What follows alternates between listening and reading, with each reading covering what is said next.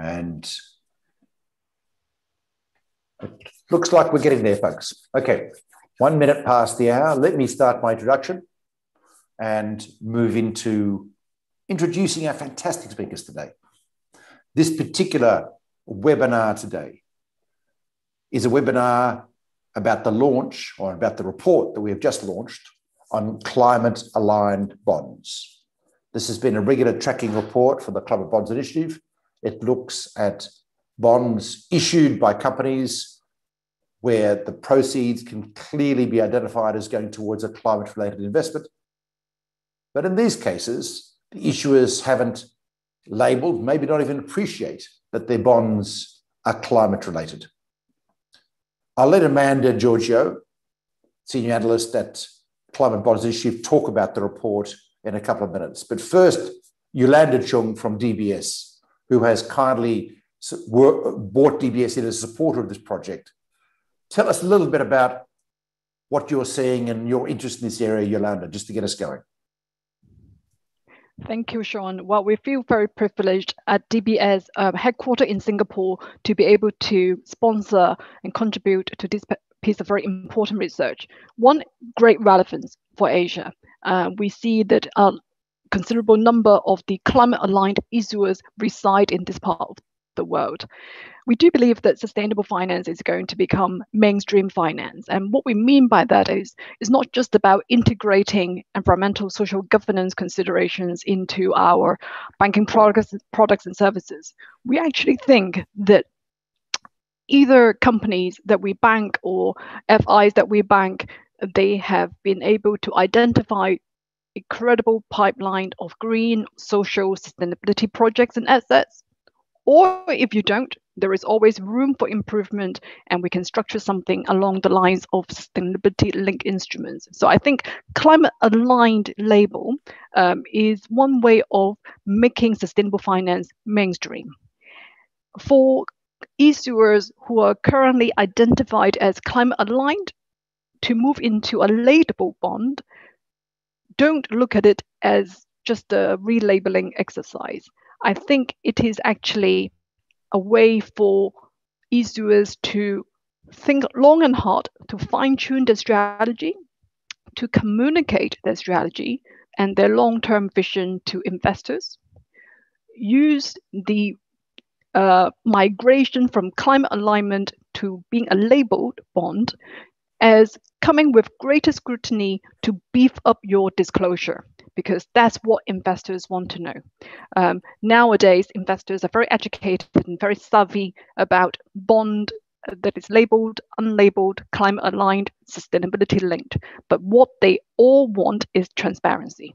There is nothing that you can pull over their eyes and say, I, have got this label or I've not got this labeled. Actually, it works in both ways. You can have a label, investors may not agree you may not have a label and investors actually like you.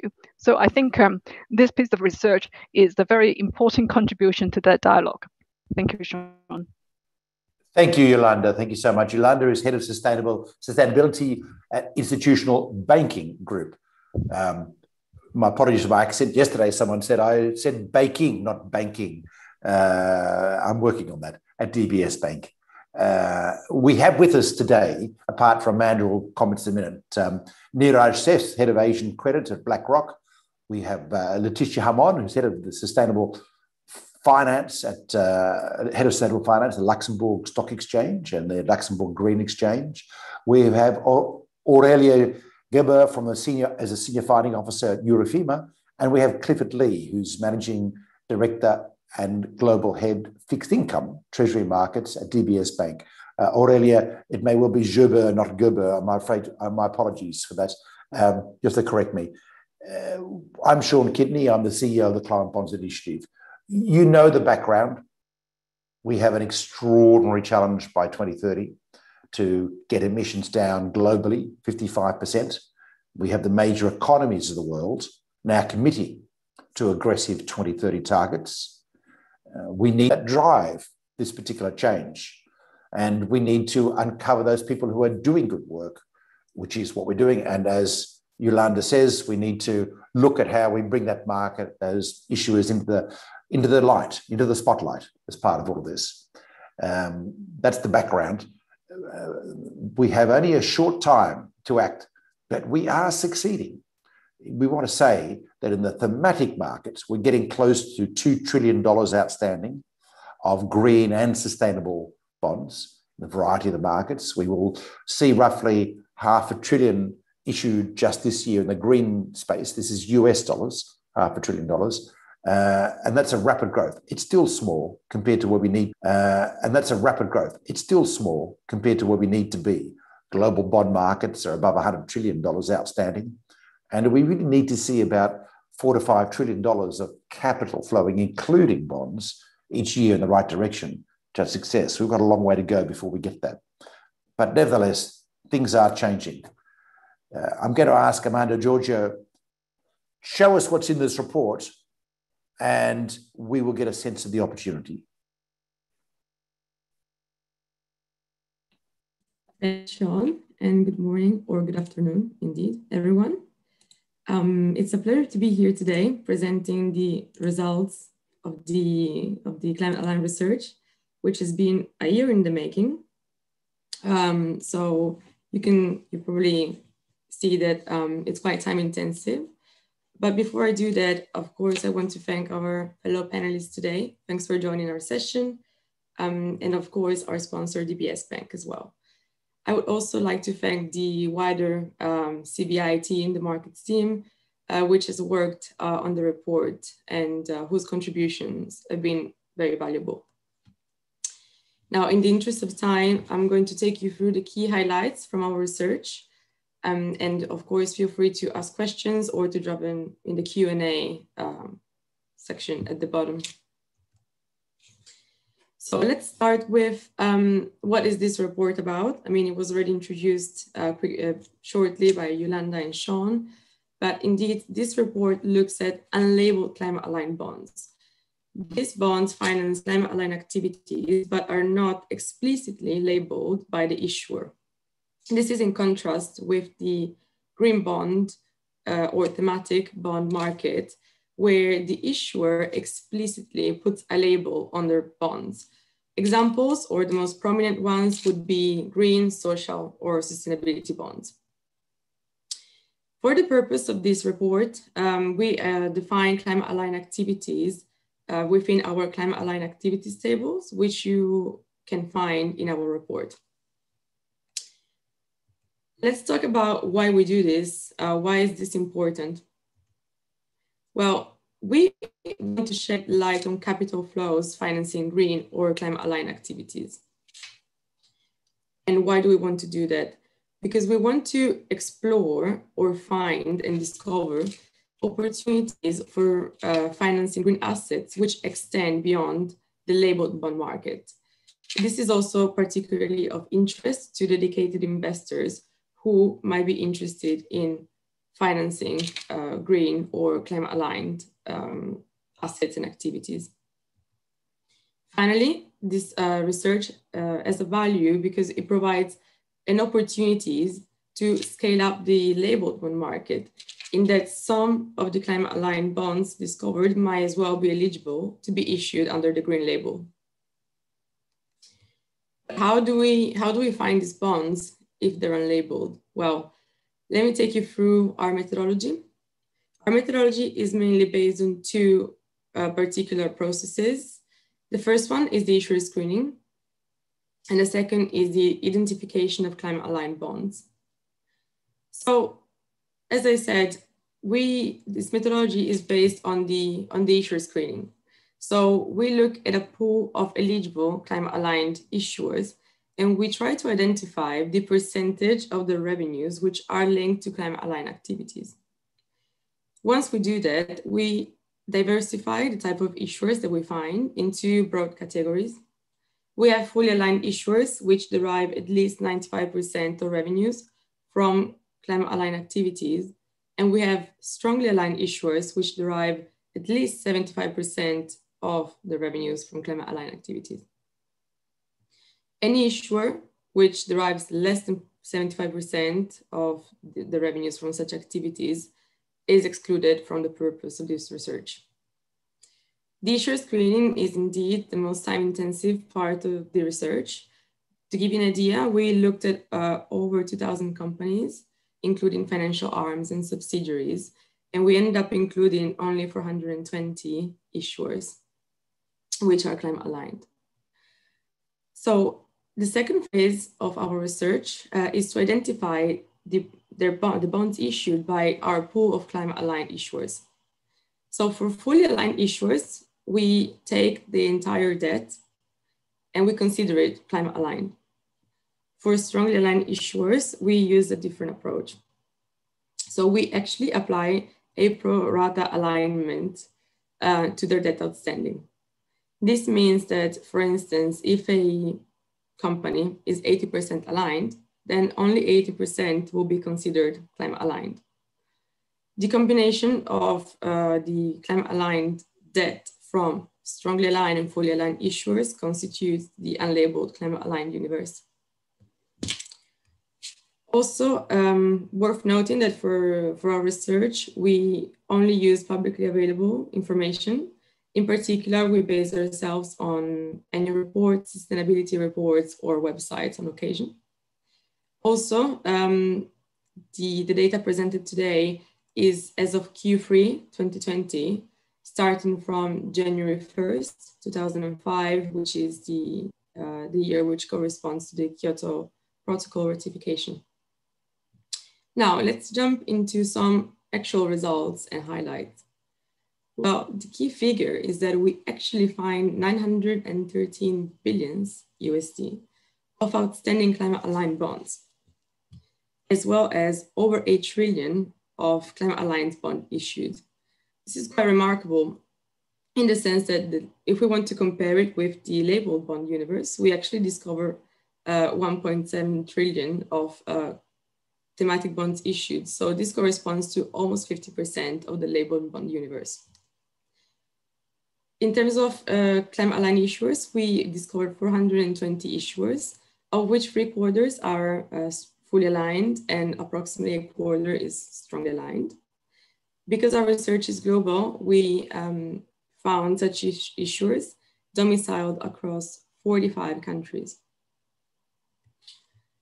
Let's look at uh, regional issuance. So as you can see from the chart on my right-hand side, Asia Pacific leads issuance, and uh, that's followed by Europe and North America. Interestingly, 74% um, of the debt from Asia Pacific is actually attributed to China, which corresponds to 36% of the climate aligned debt globally, which is indeed quite remarkable. France and the United States are then the other two top countries for climate aligned issuance. If we look at climate themes, so climate themes are the or correspond to the business where our climate aligned issuers operate. As you can see, over 50% of the debt outstanding is actually attributed to transport companies, which dominate the climate aligned universe followed by energy, water, and ICT. Waste and buildings and land use account for a minor share. Interestingly, if we actually look at the regional spread of climate themes, we can see that Asia Pacific is quite well dominated by transport as well as Europe. However, approximately 90% of the debt coming from transport comes from railway companies, which have also historically dominated our research. So these are the, the key highlights of our findings. And um, I'd like to touch on a few challenges that we encountered in light of the fact that we always try to improve our methodology and our research going forward. So the main issue or challenge that we encounter is that data is quite difficult to find. As I said at the beginning, we base our analysis on revenues. So we're trying to see the percentage of revenues from a company which are green. However, such disclosure is not standardized ac across companies, in particular within uh, annual reports. Um, in addition to that, it becomes quite problematic to trying to determine the revenues coming from green activities from business which are highly diversified, as well as it's quite difficult to evaluate the green credential of some activities. This is in contrast with the labeled bond market where transparency is, is well more established than this is uh, for any reports. Of course, because there are guidelines and uh, which are set in the green bond principles. So one way of overcoming some of these shortcomings would potentially be for issuers, climate aligned issuers to issue under the green label. As this was um, mentioned even in the introduction of this session, the label is well more scrutinized and investors have more assurance in what they're putting their money in. Good news is that 40% of the climate aligned bonds will mature, which we discovered in our research, will mature by 2024, which um, opens up considerable opportunities uh, to scale up the green bond market, but also for issuers to label their debt. However, we also uh, envisage that a more standardized disclosure and a common language to define green assets will also highly uh, enhance the transparency of climate aligned issuers. In this respect, we see Europe leading with uh, the EU taxonomy regulations already uh, providing some um, solutions to the, let's say, shortcomings that we can that we have discovered during our research. In particular, this is addressed within the EU taxonomy uh, delegated act, which sets clear uh, definitions for what constitutes green and climate aligned activities, as well as the sustainability reporting disclosure, in particular with examples from the non-financial reporting directive, which sets a clear definitions of uh, what should be disclosed at a company level. Thank you for listening. Um, I, we welcome your feedback. So if you'd like to send us an email at markets uh, at climatebonds.net, it would be much appreciated. Thanks for your time. Thanks, Amanda. Uh, the report is in the note in the chat. Sorry, the link to the report is in the chat if you want to download it quickly. Uh, Amanda, we've had a first question from you just around transport. Let me just throw that in. Uh, do we have a breakdown of types of transport, land, air, sea, public transport, private transport in the report? Is there detail for people? And where is the largest slice? No, we don't in the report at least. Um, so the largest, the largest is definitely um, associated with railway companies. It accounts for 90% of the entire debt from transport. Um, everything else is very minor, unfortunately. We have some EVs companies, uh, hydrogen, public transportation uh, in particular would be the main ones that we, that we find.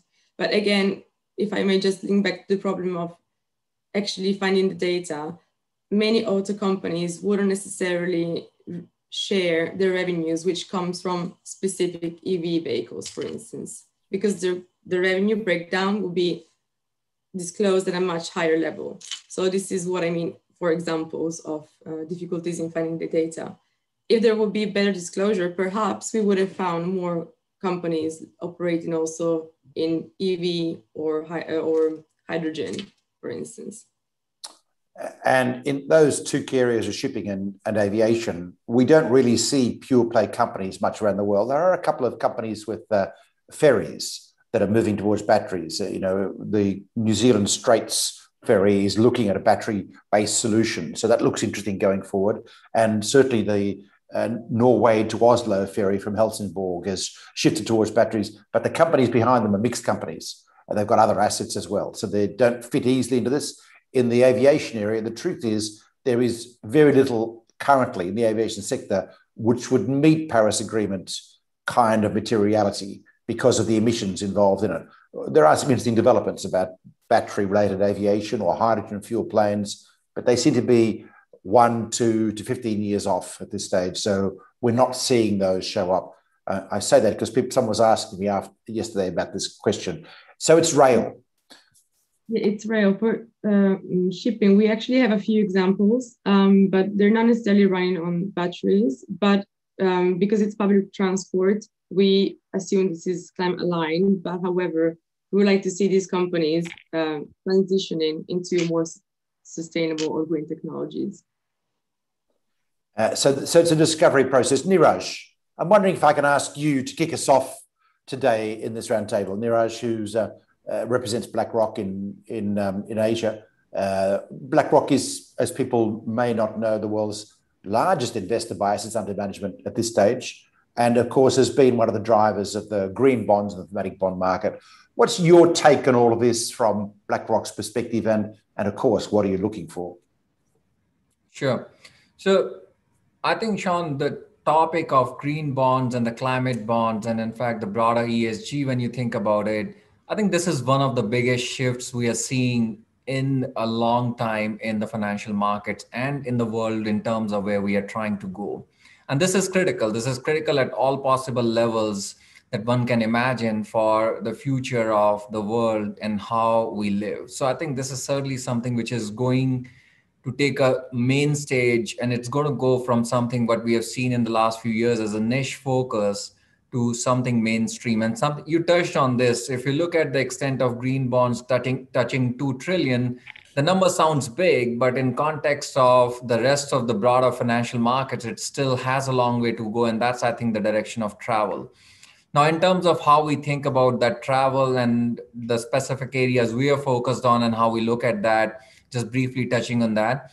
Uh, in terms of obviously within Asia, uh, how we're looking at it in that direction of travel, it starts with obviously the data quality and data analytics, the ability to actually understand what it is. The second is the standardization and then the ability to actually uh, measure a number of these uh, climate aligned and more specifically the green label products. And third is to be able to analyze and have more transparency around it, which is what our clients are looking at us to do and we look at it in a lot of details in that direction of travel not just obviously measuring what exists but also working with a number of companies along with our partners like cliff and everybody else to make sure that we are helping the system to move in that direction in terms of improvement of data availability uh, build proprietary data analytics aspect and work with obviously the large organizations on the standardization and measurement so we look at a lot of those details, but the key all comes down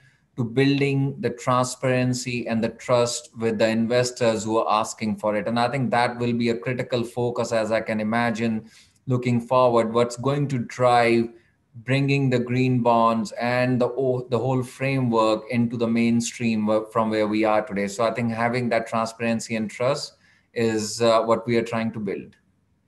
So that's interesting, Raj. So you're saying that there's actually a lot of appetite for transparency and uh, uh, around these, and for investments that transparency will uncover. That's this is this is a this is a momentum, and in Asia as well as the US as well as Europe. That is true. Now, obviously, you have to think of it in two different dimensions. From the flow of capital, it's global. So the capital obviously is fairly intermingled in terms of the global markets, and you see that flow of capital from different parts of the world to Asia and from Asia to rest of the world. So I think that's fairly straightforward that you do see that capital flowing, which is looking for actually a combination of finding returns and then creating an impact. On the borrower side, we're looking, at least my role is more specific to Asia, so I'm much closer to that. So we're looking at much more from an Asia lens and trying to obviously work with a number of companies in the region and the partners, as I said, to make sure that we are making a difference in terms of creating awareness with regards to the value of moving towards the climate bonds, moving towards more sustainable bonds, moving towards a much more of a responsible investment framework. And I think that's still a journey where we are in the early stages in Asia. The data quality obviously is something still needs a lot more work from here, but clearly the direction of travel is there and I would say it's actually un- very encouraging to see, and you have covered this to some extent in the report when you look at the issuance, what part of the issuance is Asia Pacific, which looks obviously quite uh, promising, that the borrowers, the companies have started to understand the importance.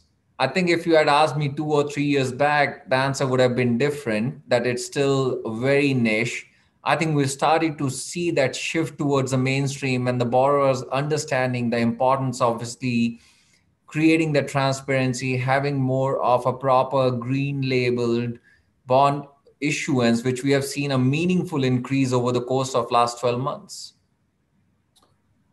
Fantastic. Let me cut to Clifford at that particular point because you've you've essentially given us a, a strong picture of the nature of the nature demand.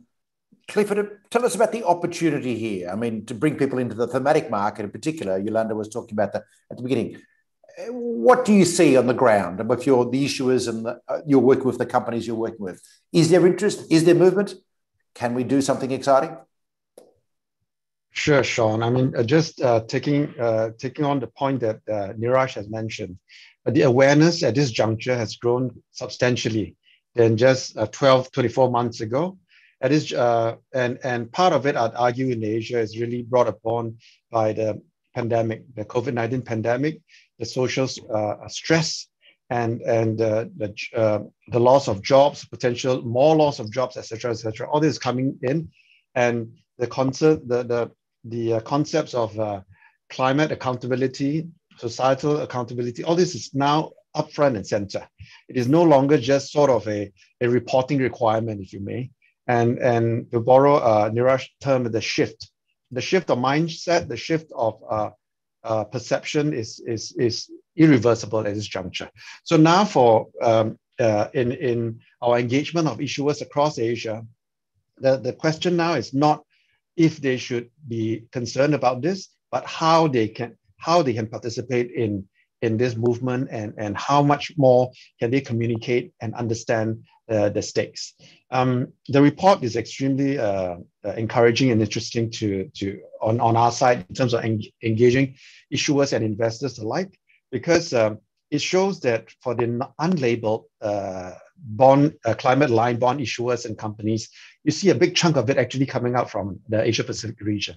And in actual issuance, um, you see it uh, already building up across Asia Pacific because uh, the whole of last year we have like uh, 78 billion of, of uh, themed labeled bond issue uh, out of APAC last year. And this year, year to date itself, is already exceeded that number, crossed 100 billion. So you see the pace growing. Yeah, and yep. you see the pace growing, but the report shows the even bigger uh, potential that that that uh, lies in the near future. To Amanda's point, right, a large bulk of those unlabeled uh, climate-aligned bonds will be maturing soon, and and it, it allows us to communicate this to the Asian region, the Asian uh, uh, Asia Pacific issuers, to say that actually a lot, a big part of their business activities, revenue streams, and assets are already climate aligned, and the the next step of making formalizing their their practices and their commitments to, to make sure that uh, it remains uh, uh, climate aligned, that they have uh, parameters that they are happy to be held accountable to. That step is really closer and easier than had previously been envisaged. So we're very excited to be able to share that into the market because uh, and, and it's not just uh, climate aligned bonds out of Asia. Bonds out of Asia is already uh, uh lacking the supply is needed for, for global participation. That's why a bulk of it, 80, 90% of the bond issues out of Asia is still, is still taken up by Asian investors. It's not because uh, there's lack of uh, interest from the rest of the world, but there's just not enough supply, right? Vis-a-vis the, the uh, uh liquidity that, that, that, is, that exists to chase after these bonds. So same thing, the, the, or the problem is even more chronic for labeled green bonds, social bonds, sustainability bonds. There's a, a, a lot of interest, as you heard from Neeraj, of representing BlackRock, in terms of uh, wanting more supply, understanding uh, and having a common de uh, definition of, of, of such bonds to be able to be more active from the investment front. So with this report, we're hoping to engage more issuers to be able to bring properly structured, labeled uh, green, social, sustainable bonds into the market so that this can grow, investor base across the world can grow, and this whole uh, initiative can really be turbocharged more than ever. I mean, in a sense the report says not only there are 900 plus billion dollars of bonds which are climate aligned, but actually there's 900 plus, plus billion dollars of bonds which could easily be brought into the thematic markets. That's right. That's right. Aurelia, at Eurofima, you're the archetypal climate aligned issuer. You have been uh, you're the, Europe's agency for funding rail investments, and um, for those questions, are people asking why rail? Low carbon transport, folks. We need to get people out of cars and out of trucks with fossil fuels and resource inefficiency into mass transit and so on. of course, this is a bit of a uh, post-pandemic issue. During the pandemic, we've seen public transport go down, but that's but still, freight rail has been extraordinary. Or Eurofima has been financing this for a long time, has appeared in our climate aligned reports a long time. But at Eurofima, you've also made a decision to pursue the thematic market. So you're the classic example of a company who uh, can be considered to be climate aligned, but has found benefits with the extra transparency and the protocols, as Neeraj was saying earlier. Can you tell us a bit about that journey, Aurelia, and how that happened and, and uh, why you, Eurofima has chosen this pathway? Sure, Sean. but first of all, let me thank you, uh, Amanda, also for the report, which is very informative and uh, it helps uh, understand the uh, the milestones of sustainable finance. And I was actually very proud to discover that uh, we are first climate aligned SSA issuer. So as you described, yeah, we operate the transport sector and in particular railway transportation is key to decarbonization and zero, net zero. Our business model, as you said, we finance solely passenger transportation, rolling stock. So we are a pure play, what you would say. And um, but we also decided to offer green label bonds and theme bonds. I must say, at the time uh, of the launch of the framework in 2017, when I also started, myself, I had moments of doubts because I thought this is a company I'm joining. They only do sustainable mobility. Why is it that now we launch a, a framework, a, a label bond? why should we do that? Um, and uh, actually, we felt pressure from the markets, being the banks and the investor. And this really led us to now uh, decide that we want to target uh, label bonds, if you want, more than 80%. And I think the main difference between uh, now uh, a climate aligned, if you want, uh, issuer uh, and, and the label bonds is the fact that in the framework you have stricter rules. You really, as you say, you standardize. You need to ring fence. You have use of proceeds versus an entire business business model. And in our in our example, we decided to really only strictly include electric uh, rolling stock, and we left out the diesel Diesel is nevertheless also sustainable because you reach out sometimes in regions where there is no other way of transportation. The lines are not electrified yet, and it's still better than driving a thousand cars if you can bring all people on, on one mm. train, even if it's diesel. So we still think it's sustainable, but we strictly wanted to take it out of the framework. And this year also, uh, we moved very quickly to be EU taxonomy, uh, to get to reach for the EU taxonomy alignment. For us, it was important because we could feel from the market there is a need for, again, what Neeraj said and what Clifford said, standardization. And so I think we have to recognize there are different types of investors they are the ones who really focus on, on the label, the, the use of proceeds, the impact data. They really need to, uh, to report on this. It's, it's very important for them and for their end investors as well. And the ones who are still a bit more um, sustainable focus overall, looking at ESG rating, uh, balance sheet focus of the business, or doing their own sustainability analysis. Um, but I think even this group is going to move forward into more having impacts, having to report on impact. So even the second group, I think, needs to be more uh, precise in the way they, they analyze the companies, and, and that's what they want. And what I want to share with you also is uh, once we made this uh, happening uh, with the framework in Eurofima, the label, it really forced us um, to transform from within, which is important. We started to be capital markets department doing this framework, but then with the impact reporting, we, uh, we were also working with the middle office uh, and now integrating the risk management, if you want.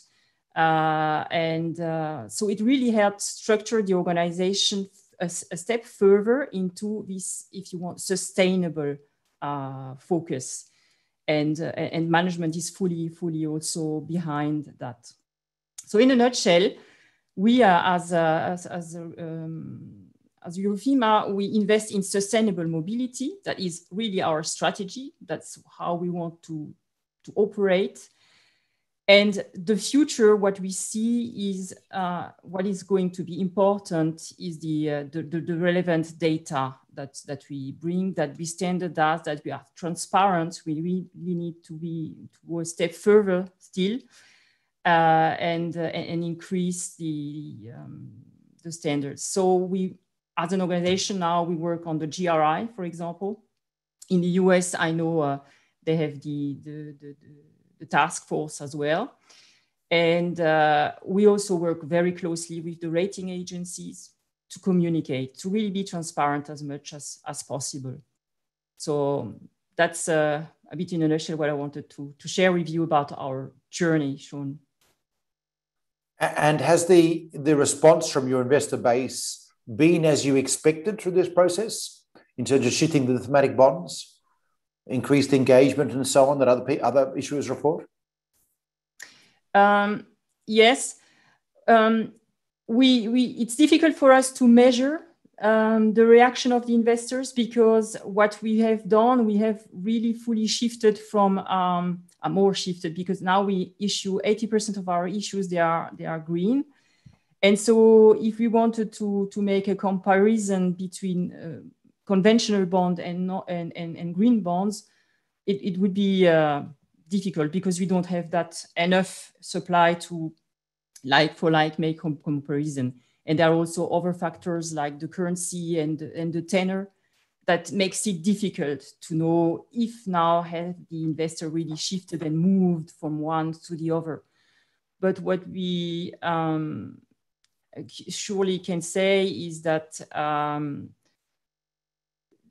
investor, we have a much better engagement when we have uh, talks with them. Uh, we don't only talk about credit risk like in the past, you know.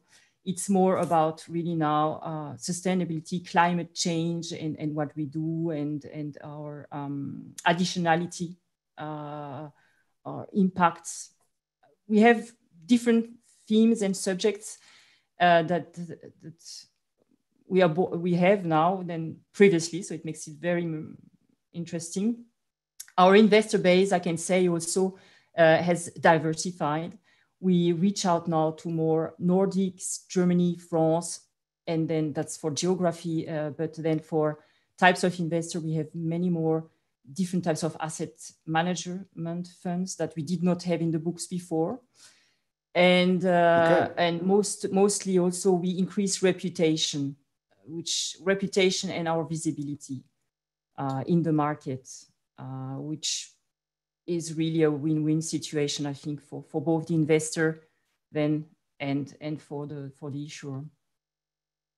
It'll be interesting to see with your underlying asset base the shift um, from diesel to hydrogen. I mean, we certainly have Italian railways and German railways trialing hydrogen replacing diesel at the moment. So uh, it might lead to some changes going forward. But one of the most interesting things you say is about transparency and visibility. Laetitia, you, at the exchange, of course, you've made a you've been a champion of this particular issue. Is this a common story that the transparency and visibility issues, uh, or demand, if you like, are driving the markets going forward? And, and what have you been doing at the at the exchange to support this kind of thing? Well, thank you, thank you very much, Shannon. Congratulations uh, also on the reports.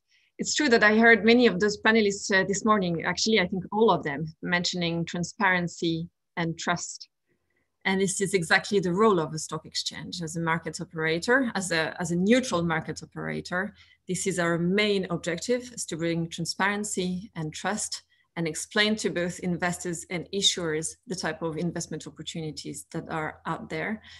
Uh, obviously, notably to answer the climate uh, goals.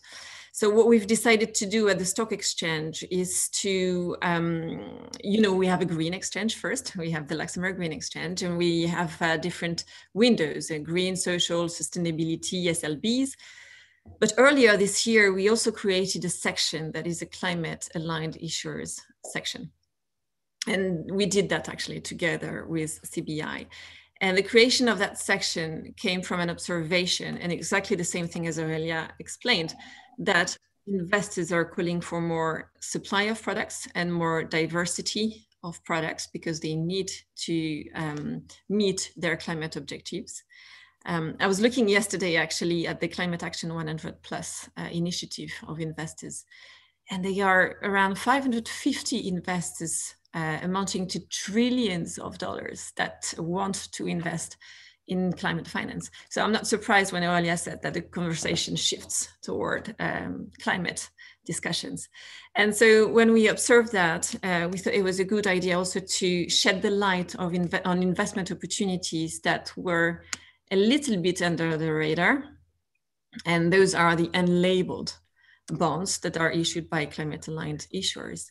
And that's really what we're trying to do here uh, with that section. First, explain to investors that they are investment opportunities from those climate aligned issuers. Explain to issuers that they are one step from turning their bonds to labeled bonds if they add more disclosures and more transparency. Um, and that's really what we're trying to do. Looking at what we have on the section uh, more specifically, um, we have 176 bonds on the section. It, I, I, can find some some similarities with the report where transport is the major um, sector. In there, we've got Eurofima actually as a climate aligned issuer, uh, but also with 20 green bonds on the Luxembourg Green Exchange. So you see the barrier between um, being a climate aligned issuer and having labeled fund is not that strict we've got, we, we see a number of issuers that also have labeled bonds. Um, and we see also um, different other sectors like uh, renewable energy, uh, ICT, water management, and uh, and waste management uh, on that section. So really, the objective here is also because we are an international um, stock exchange, and Neeraj mentioned that uh, it is important as well. And because the study also uh, highlights that Asia is one of the region where there are most climate aligned issuers. We are an international exchange. There's no local market in Luxembourg. Uh, you may know that. Uh, and so we can also, or it's very small. Uh, so we can also raise visibility from those international in issuers in Asia and other regions of, of, the world and explain that to investors. So that's really what we're trying to do um, here at the stock exchange. Uh, it, it's fantastic. And of course, you've got listings around the world. But uh, I, I, want to just stress for our listeners that um, Luxembourg's taken a leadership position on this issue. There have been copycats. I'm not really saying copycats. I mean, there are other people who are also trying to grow this market. Um, which, and it's really important to note that the work of, of the Singapore Stock Exchange, the Hong Kong Stock Exchange, the Shanghai Stock Exchange, the London Stock Exchange, and of course, it goes on. Frankfurt, NASDAQ, NYSE, SIX, and many exchanges, Johannesburg Stock Exchange around the world, they've all got green listings now.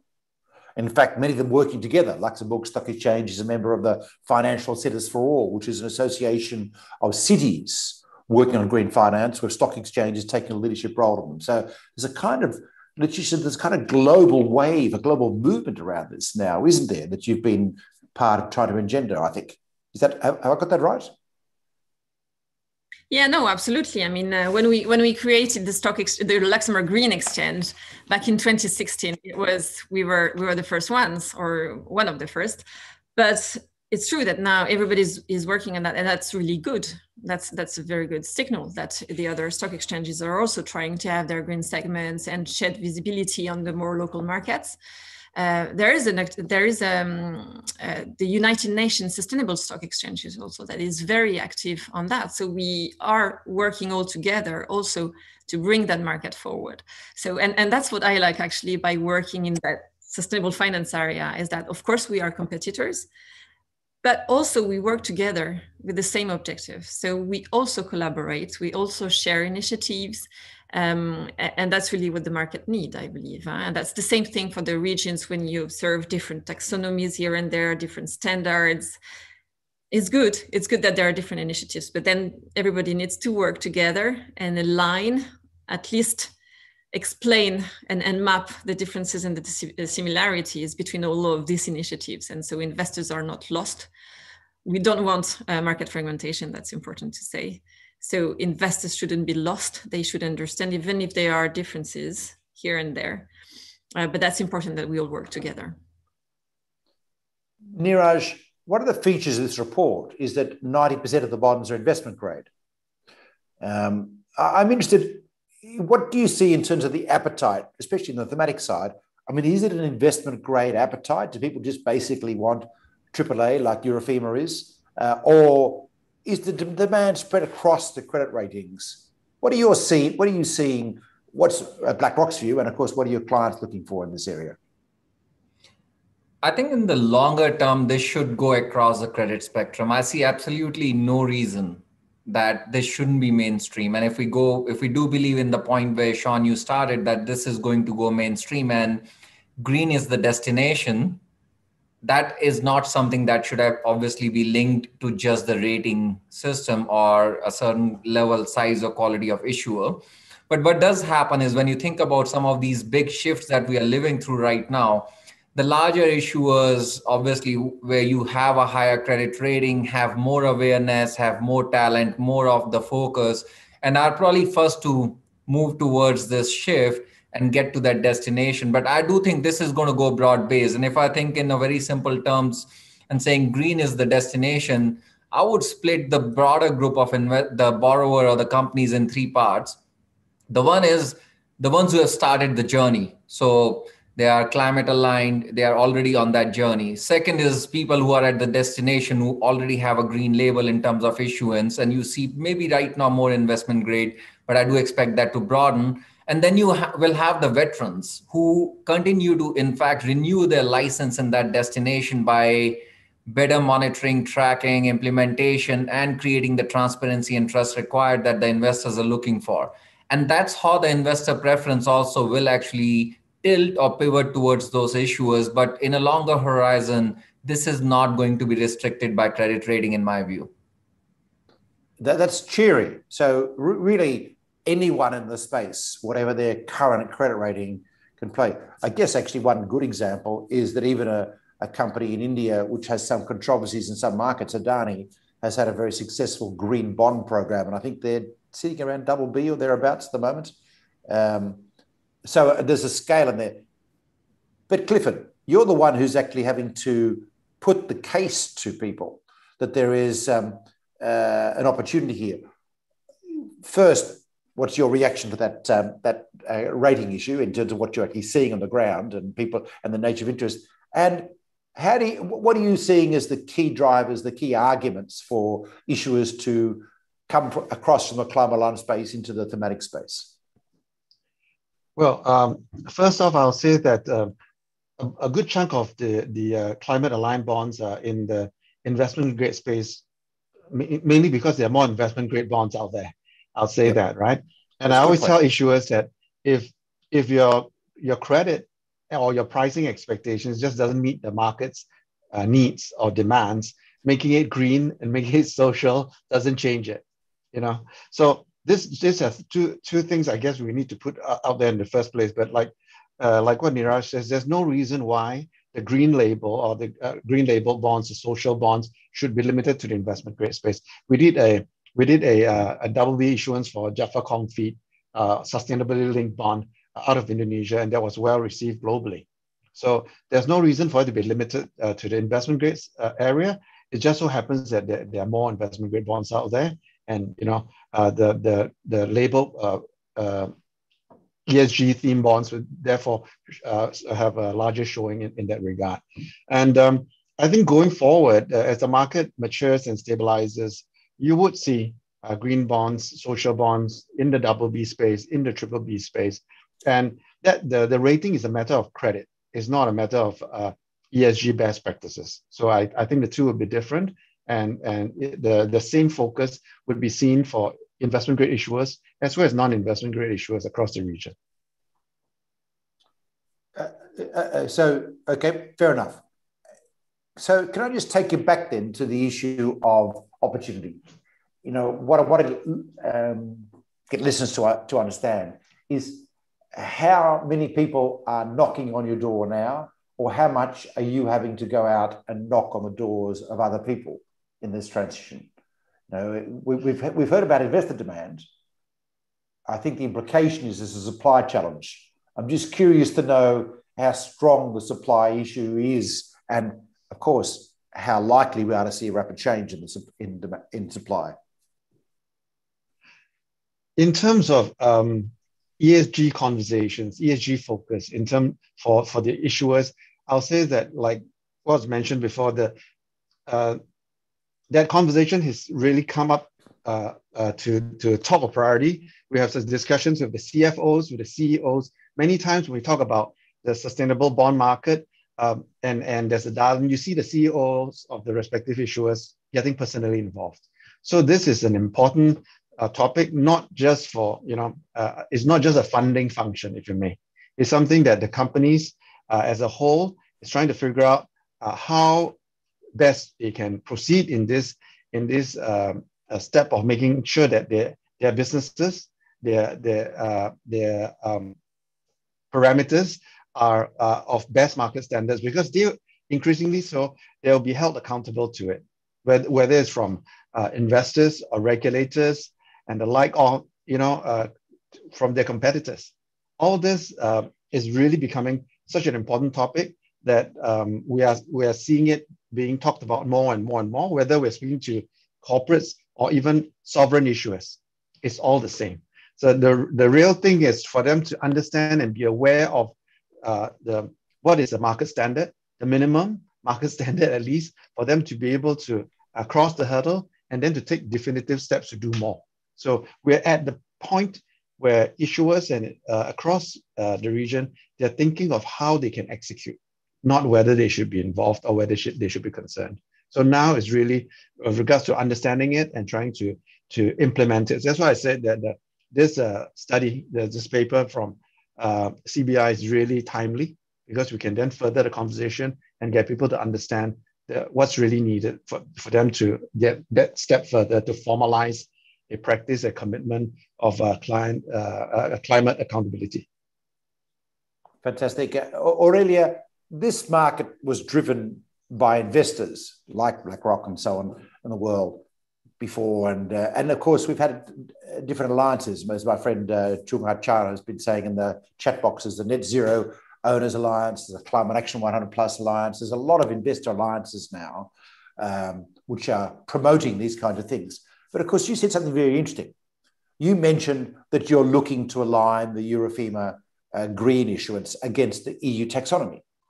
And a big change that we've seen happening in the past couple of years has been the engagement of regulators in driving this market. In China, for our listeners, the uh, People's Bank of China designated a green projects catalogue at the beginning of 2015 that has underpinned the growth of the Chinese market. In other words, in China, it's not about making a case to investors. It's about meeting the formal regulation that the People's Bank of China has issued in terms of what's a, what you can call green in China.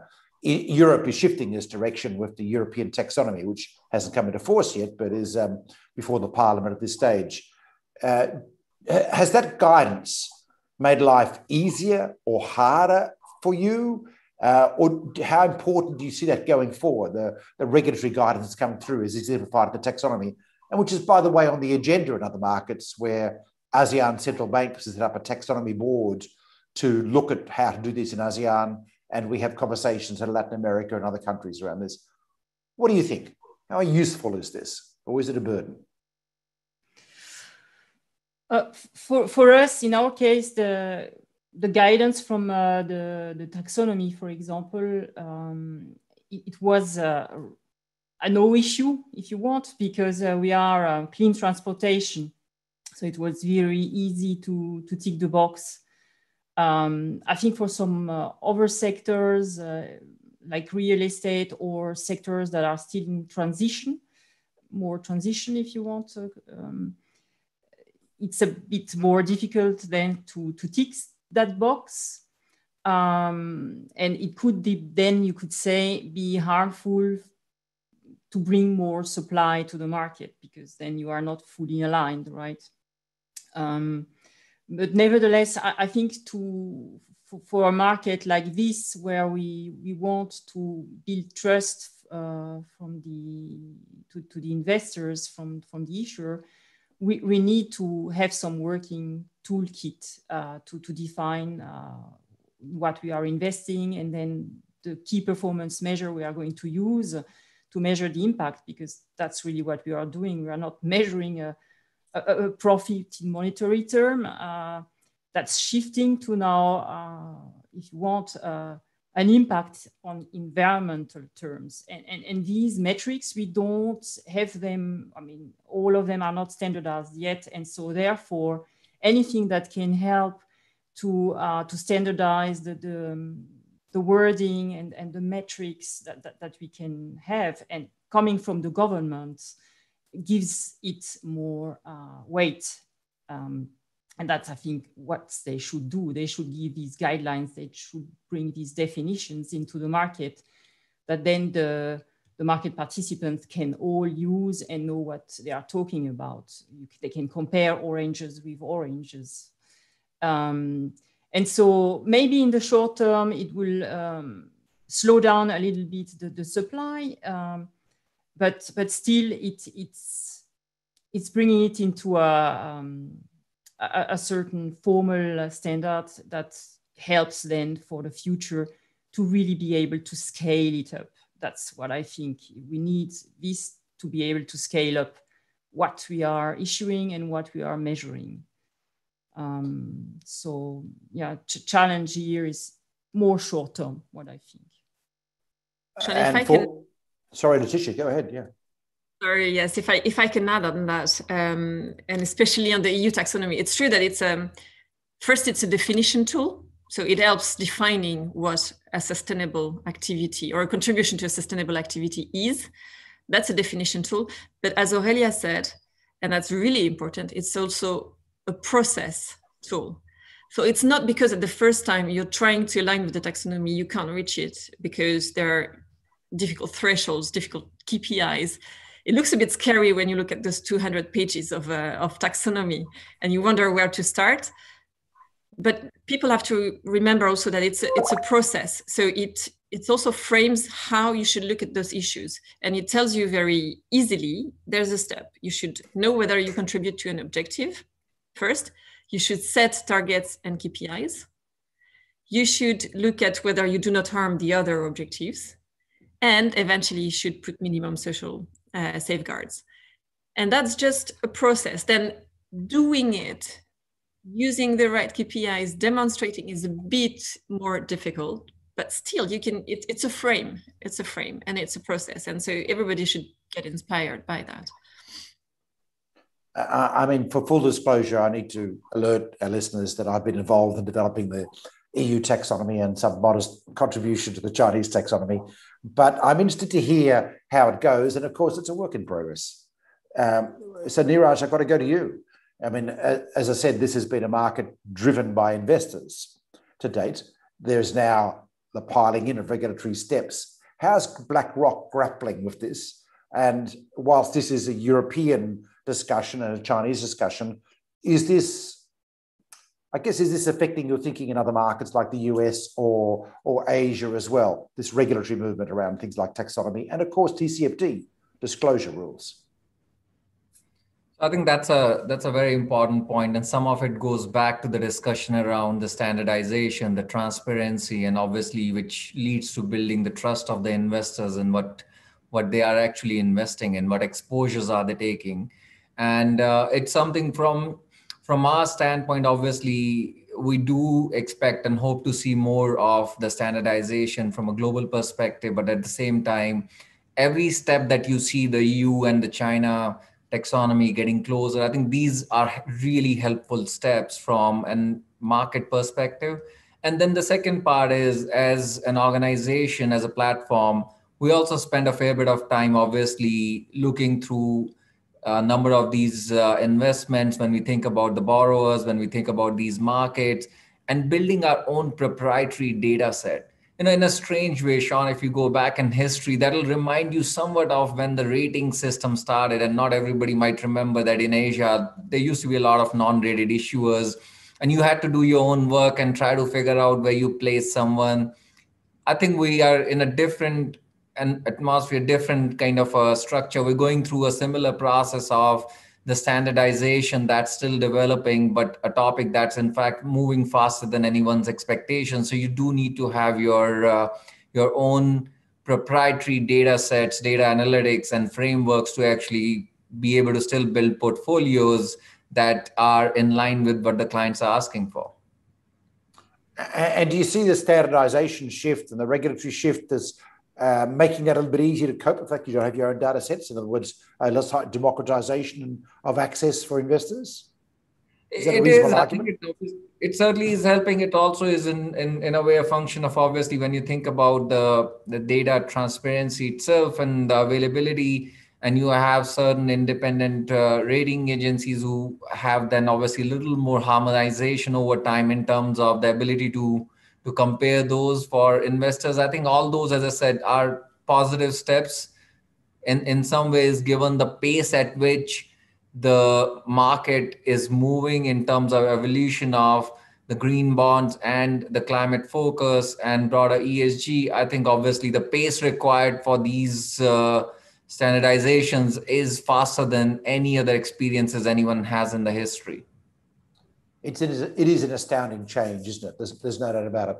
Uh, you mentioned that, that the harmonisation China and Europe, and uh, I just want to again say to our listeners, uh, at Climate Bonds, we're working supporting the European Commission uh, with the, this uh, project between Europe and China to come up with a common ground taxonomy, and we will be publishing a report in September uh, around that. It will be only be a first report um, Governor Yi Gang from the People's Bank of China has said, slightly to my shock, I have to say, that it'll be 80% consistent between the two, which has raised a, uh, put a put a tough benchmark we've got to achieve by September. Um, but it'll be a working document, and the goal is between the Chinese authorities and the European authorities to provide a, a common approach, the guidance the markets that can be picked up by other markets. And um, uh, so just for information, watch this space. Hopefully, Neeraj, that'll address the point you make about uh, common approaches. Uh, we we have a, a Clifford a, a, lot to do here. What I'm curious now, what I'd like to, to move to just to finish up is what have we got to do, and what do you need other parties to do to facilitate this change? I mean, for example, the Singapore government and the Hong Kong government have provided uh, subsidies for the independent reviews of bonds in the thematic bonds, but the green bond space, so on. I don't know whether you think that's been successful as an in, incentive or initiative by the governments to do. Are there other things? Do you think more of that? Uh, the general thing is how do we take this forward and how do we take it forward fast? Because we've got very challenging climate goals to meet. What do you think? Well, in my opinion, and, and, and this is based off discussing with uh, issuers and investors alike over the past uh, five to eight years regarding this topic, I'd say that uh, harmonization and and uh, regulatory uh, guidelines will be critical. You know, you, we all need to understand. We all need to gear towards something that is a, a lot more transparent that we all can reference off. But uh, to Neeraj point, even for ratings, it took a long time for Asian uh, issuers in the emerging markets to accept that rating is required and to also understand uh, the, the ways that uh, the credits are rated. Rating agencies also have to calibrate to understand that credits across the respective uh, countries would be looked upon differently and it is an uh, evolving process. So I'd say the same thing with regards to what we're trying to do now in uh, the issuance and the funding of uh, or, uh, in, in, the climate uh, aligned bond space in, in the objectives we want to set forward. I'll say that it's an evolving situation. Whilst guidelines are important, I think we also need the market to evolve by itself. A green bond six, seven, eight years ago in Asia looks a bit different from what it is now. The market, the investors evolved into what they can accept. The issuers understood what's demanded uh, of the market and we take the first uh, a few steps forward. So same thing for sustainability linked bond, for example, right? Is very is newer and there's skepticism in the market. But I say that the more avenues, the more uh, uh, experiments we can throw out there for the markets react, it, it can only serve us to, to serve to move us forward. So whatever is best practices will be adhered to. Whatever is, is not acceptable will slowly fade away. So for the, for, for there to be calibration between providing uh, the transparency, the consistency, the harmonization of standards, as well as experimenting with new structures to see what's acceptable and what's, you know, uh, pardon the pun, sustainable in terms of developing the market uh, sooner rather than later. Good pun, Clifford. Laetitia, from your perspective, you've been doing this for a long time. Next steps, and what are you looking for other actors to do, whether it be credit rating agencies or investors or regulators or central banks? And I'm conscious that in Europe, we saw a couple of days ago the release of the European Central Bank's response to climate and, and other matters. And we've had Jens Weidmann from the Bundesbank agree, I'm going to say uh, finally, agree after a long discussion that uh, green quantitative easing is something the European Central Bank will look at. So these are interesting initiatives in Europe, at least. What do you think needs to happen? Are those important? Is it about market actors like credit rating agencies? Give us a clue. How do we make this massive? Ambitious question. How do we make that massive? Uh, first, um, as Amanda said actually in, in the report, there are many ways of looking at the climate alignment of a company, uh, be it by looking at the revenues, and there are some challenges that Amanda mentioned around that. Also looking at the location of assets, if you're looking at the climate risks of, uh, of those assets. Also looking at the supply chain. So there are many ways of looking at the climate alignment of, of a company. And there are many standards, as you mentioned, that try to help in the disclosure of, uh, of climate activities like the TCFD, uh, but also in Europe, the in NFRD or new CSRD.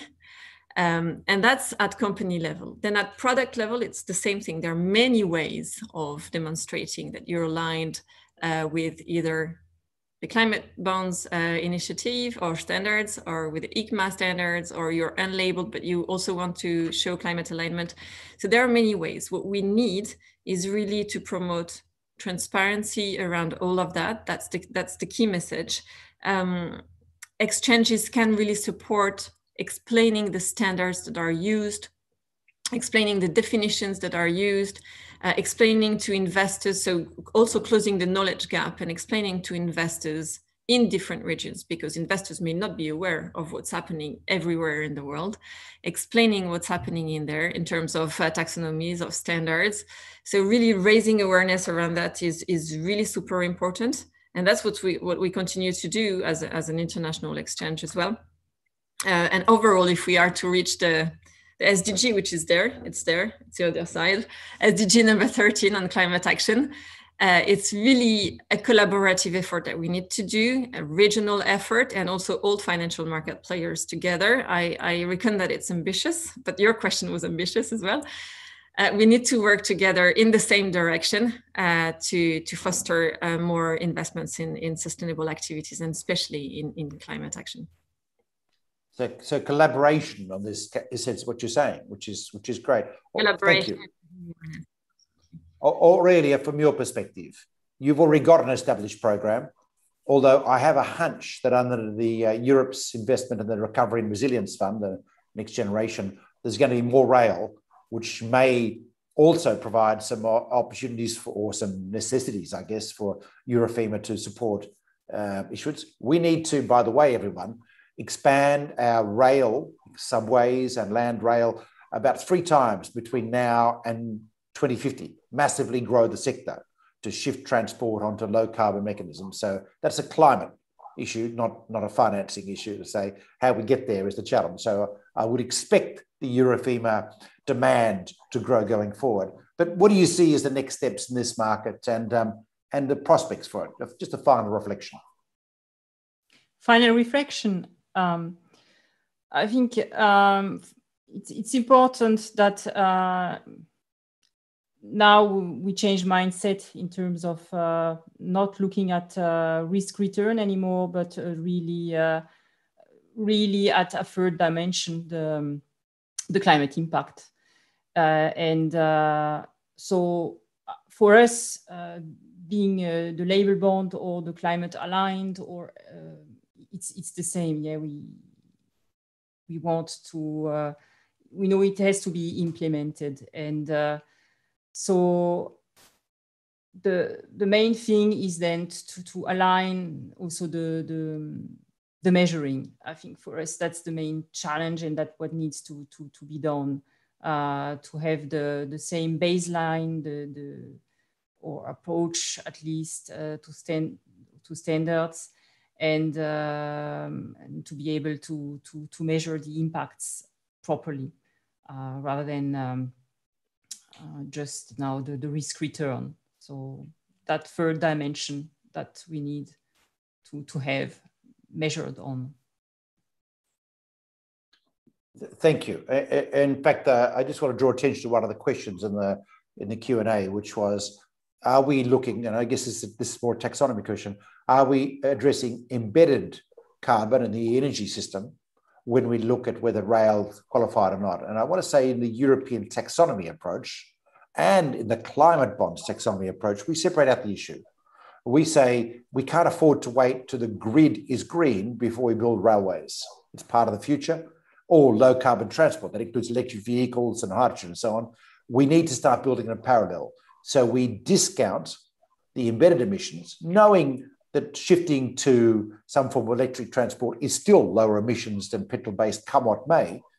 Uh, but we don't require that in the calculations. We simply say electric or hydrogen or low carbon transport is a priority, and in parallel, we'll work to green the grid very quickly. So that's a longer. There's a longer discussion about that in the various documentations that the Climate Bonds Initiative has. But just to answer that particular questions, so we do not look at Eurofima's energy sources for the purposes of climate bonds and for the of course the climate aligned universe taxonomy just uh, by way of information. Um, uh, amanda any final comments or questions from you that uh, things we've missed that we really should know about in the report? No not really. Um, the only thing that i want to point out is that about 30% of the issuers which we included in the research have actually already issued in the in the green bond label which means that some of them, of course, have already discovered the extra value which the label brings in terms of transparency.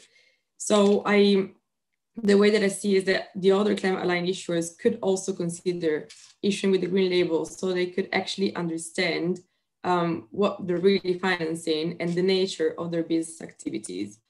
Um, on the other hand, it's quite interesting to see that, as I mentioned, we had a few challenges with finding the data.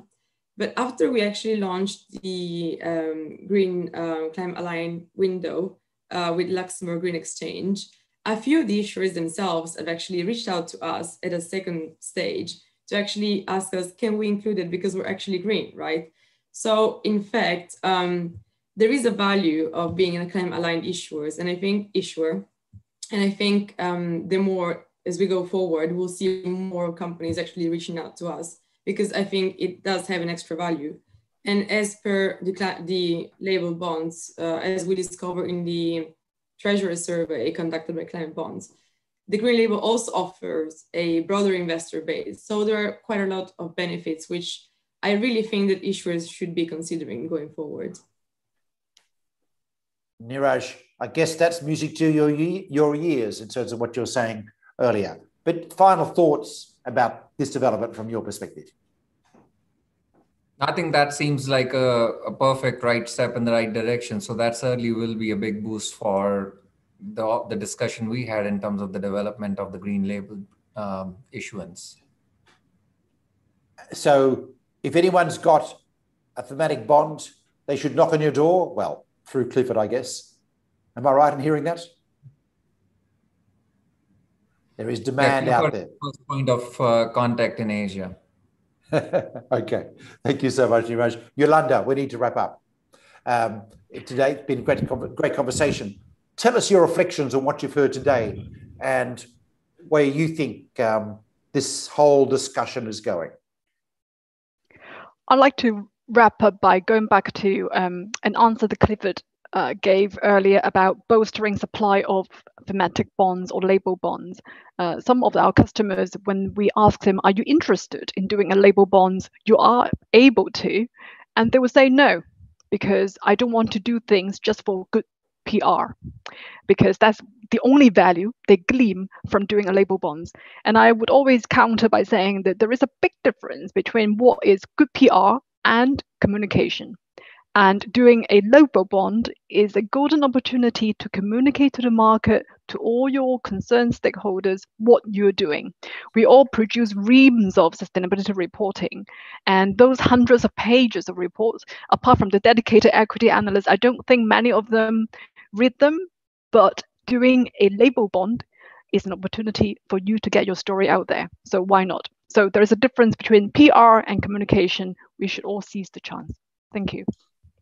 Good point. Thank you. And we see you know, very clear benefits for issuers the thematic market, as Euro, as uh, Aurelia from Eurofima has been telling us. Uh, there's a signalling benefit as we recover from the pandemic, and Clifford pointed out, you know, it's been a pretty major impact in the last year to our markets, to thinking, to sensibilities about what to do. We do have a building back better theme, which is now dominating discourse at a government. This is a way of signalling that you're part of that building back better theme. But it's straightforwardly a way of getting more investors. You will hear more conversations such as Neeraj about the nature of demand, that the investment demand is hot, oversubscription levels are higher for thematic than non-thematic as a rule. They're pretty good for, for vanilla bonds as it is, but they're higher for thematic. And of course, in some currencies and uh, liquid markets, you're seeing price differential being to appear on the back of the demand. One thing you can say in the secondary market, green bonds perform better than vanilla bonds around the world. Investors are seeing them as a valuable product. And in downturns, they tend to hold their value. So they're a value retention product. Um, at least that's what we're seeing at climate bonds. I'm not going to put Neeraj on the spot about all of that because that's part of your pitch to him via Clifford to make these arguments and see how he responds. What I can say is Neeraj is saying, we're interested, we're out there. Thank you, everyone, for joining us today. Thank you for our fantastic panelists to uh, Clifford, to Aurelia, Aurelia, to Laetitia, to Yolanda, to Amanda, and to Neeraj. Um, it's a big topic. We have a universe of investors that want to buy. We have a universe of potential issuers in the climate aligned universe. We need to bring these things together. We have a challenge that this is all about addressing, which is to meet our climate goals. It's a 2030 focus 55% reductions to try and create a future that we want our children to live in. If we don't make those goals, according to the Government Panel on Climate Change, we're going to have a real problem. The kind of climate impacts that we're experiencing now, like extraordinary heat in Canada of all places, and by the way, it was snowing in southern Brazil at the same time. Ay, ay, ay. These things are going to become the norm very quickly. So we need to act to get those emissions down and to build resilience in our societies. This is what this is about. Um, there's a lot to be done. Thank you for joining us. Thank you for listening in. Good luck, everyone, on the panel and on our listeners, with our listeners, in creating a sustainable future, both sustainable in terms of returns and sustainable in terms of a future we want for our children. Good luck talk again over and out. Thanks, everyone.